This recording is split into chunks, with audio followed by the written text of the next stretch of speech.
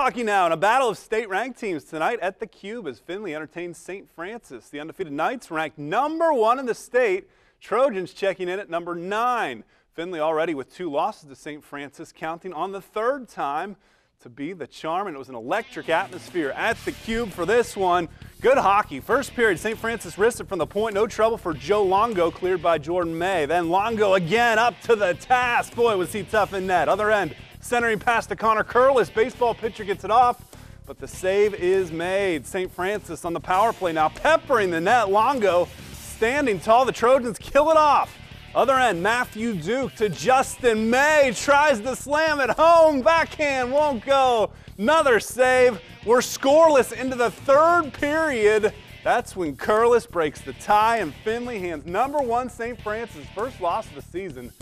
One to nothing. It was a good one out there.